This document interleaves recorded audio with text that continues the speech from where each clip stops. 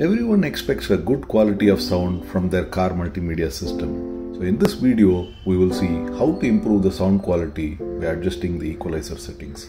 Click on the equalizer button and open the application.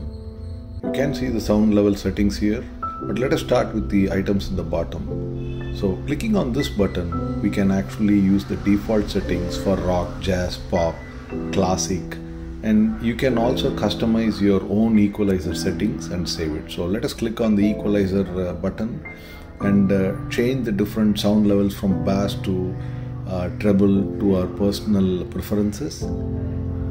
And you can save this uh, sound settings in a particular name.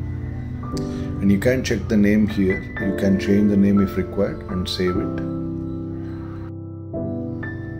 Clicking on the button on the right, you can actually set the sound settings whether you want it on the front side, back side, evenly distributed, left, right.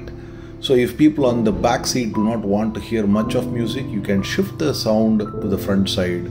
So I'm showing a demo of how I can move to the left front, right front, similarly on the back, left and right.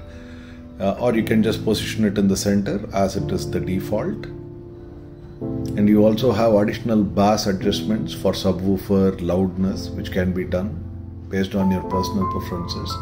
You have to remember that whatever settings you have done on the equalizer and sound settings you have to save it by clicking this button. Hope you found this video useful. More tips and tricks uh, on my channel. Thanks for watching and don't forget to subscribe.